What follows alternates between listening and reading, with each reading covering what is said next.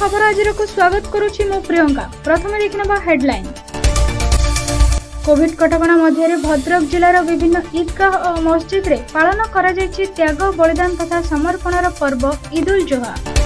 ପାଇଖାନା ନିର୍ମାଣ ପ୍ରାପ୍ୟ ନ ମିଳିବାରୁ ଅଫିସରେ ତାଲା।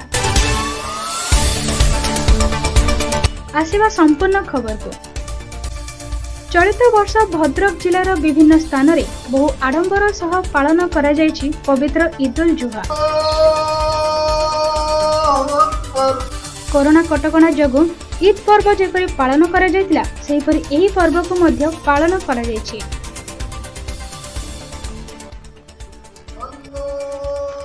ଅନ୍ୟ ପକ୍ଷରେ ଆଜିଠାରୁ ଭଦ୍ରକ ଜିଲ୍ଲା ଅଠଚାଳିଶ ଘଣ୍ଟିଆ ସଟ୍ଡାଉନ୍ ଘୋଷଣା କରାଯାଇଛି। ତେଣୁ ପ୍ରଶାସନ ସହିତ ଆଲୋଚନା କରି ସାମାଜିକ ଦୂରତା ଅବଲମ୍ବନ କରି ଭଦ୍ରକ ଇଦଗାହ ଧାମନଗର ଭଣ୍ଡାର ପୋଖରୀଠାରେ ମାତ୍ର ପାଞ୍ଚ ଜଣ ଲେଖାଏଁ ନମାଜ ପାଠ କରିଛନ୍ତି।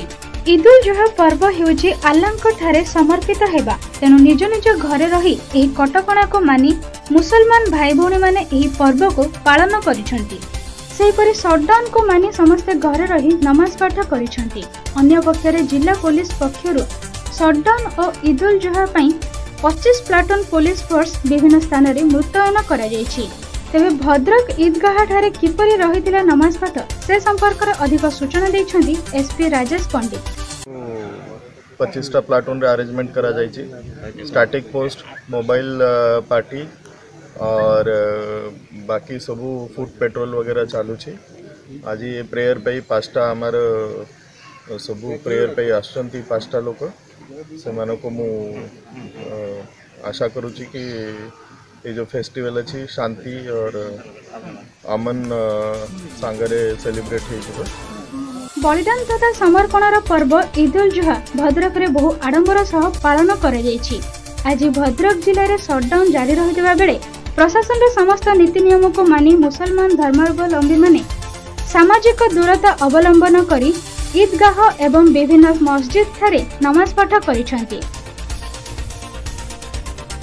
ଭଦ୍ରକରୁ ହାଜିଦୁଲ ଖାନଙ୍କ ରିପୋର୍ଟ କୁସୁମ ଟିଭି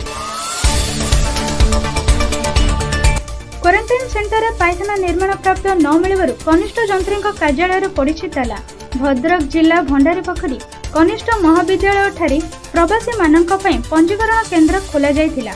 ଏଠାରେ ସେମାନଙ୍କ ଖାଇବା ପିଇବା ରହିବା ଅସ୍ଥାୟୀ କ୍ୱାରେଣ୍ଟାଇନ୍ ସେଣ୍ଟର ପାଇଁ ମଧ୍ୟ ପ୍ରଶାସନ ସମସ୍ତ ବ୍ୟବସ୍ଥା କରିଥିଲା।